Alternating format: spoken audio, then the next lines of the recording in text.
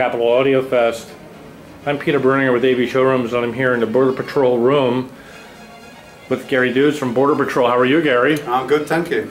What do you have at the Capital Audio Fest this year? Uh, this year we're showing our range of triode amplifiers. Uh, currently playing we have the SE300B EXD which is a 8 watt single ended amplifier with an external power supply. Let's take a look at that.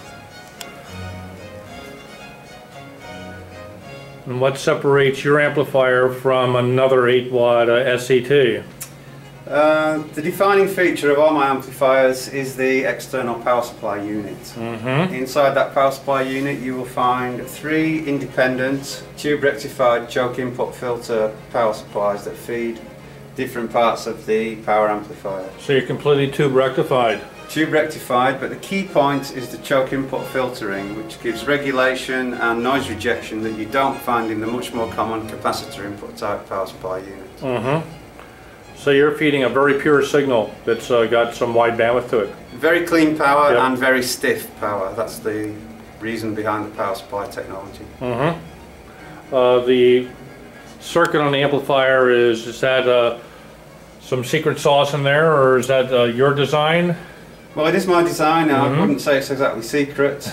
Um, it uses an input triode, which is then coupled to the output 300B triodes by interstage transformers. Um, those are also items that you don't find on every amplifier. And let's get a shot of the power supplies. That's right underneath, correct? That's correct, yeah? Yeah, look at those. So we see one power supply, the one on the bottom is uh, feeding the power amplifier, the one here feeds the preamplifier, and the one here feeds the digital to analog converter. So the digital analog converter is your design as well? That's correct. It also has a tube output stage, and that's the reason why it has the external power supply unit. I understand. So that's again, viewers, that's over here, powering this. Yep. Very stiff power supplies. We're putting DC voltage of uh, what into the uh, units? Oh, in the DAC you've got a voltage of about 200. Mm-hmm. In the preamplifier you've got about 200. Mm-hmm. In the amplifier you've got one voltage of 400, one voltage is of 250, and the bias voltage of minus 100. Mm-hmm. And viewers, you can get a good look behind it here. We've had a number of 300Bs in our systems over the years. Uh, what's the current hot 300B tube that you like to use in your products?